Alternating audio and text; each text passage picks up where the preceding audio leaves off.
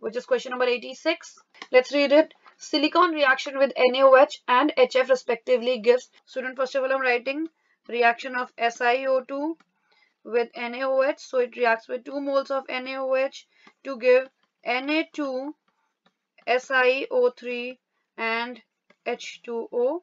And when SiO2 reacts with HF, so 4HF, it gives SiF4 plus 2H2O. That means the correct answer for this question is option number 4.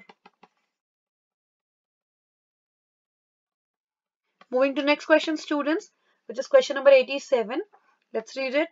Hydrolysis product of which of the following is used for blocking the polymeric chain of silicons? Student, among the following, CH3 whole 3 SiCl on hydrolysis blocks the end of the polymeric chain. That means the correct answer is option number 1.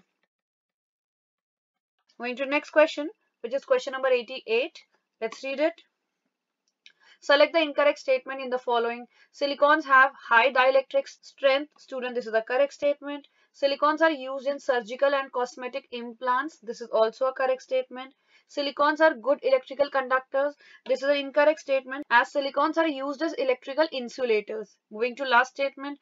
Tin on reaction with steam produces H2 as one of the product. Student, this is also a correct statement. That means the correct answer for this question is option number 3. I'm writing the reaction between tin and steam. So tin is Sn plus 2H2O gives H2 as one of the product and SnO2. Moving to the next question students, which is question number 89. Which among the following is strongest Lewis acid? Student, first of all, you need to know that in case of boron trihalides, there is a vacant p orbital and because of which these compounds behaves as Lewis acid. Also, because of the lone pair present on the halide, there exists back bonding from the halide to the boron atom. As a result, the Lewis acidic strength decreases. So it is very clear that stronger the back bonding, weaker will be the Lewis acidic strength. And among the given compounds, in case of BF3, the back bonding from fluoride to boron will be maximum because of the similar size of the orbitals that is involved in back bonding that is p orbital and p orbital p orbital of fluoride and p orbital of boron. As a result bf3 will be the weakest lewis acid. Here i'm writing the order of uh, lewis acidic strength. So order of lewis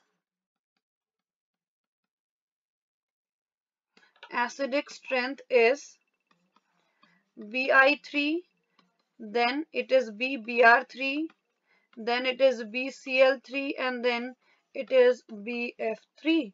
That means the strongest Lewis acid among the following is BI3. So the correct answer is option number 1. Moving to the last question students. Basic structural unit of chain silicates is Student, you need to know that the basic structural unit of chain silicates is SiO3 2 minus. So the correct answer is option number 3. Students, that was my last question. Thank you so much. I hope this quick solution is helpful for you all. All the very best and be safe.